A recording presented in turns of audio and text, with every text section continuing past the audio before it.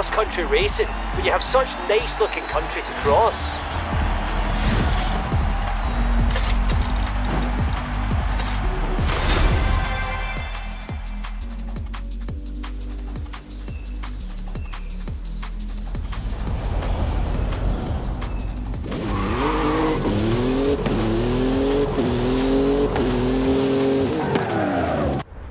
It's time to expand.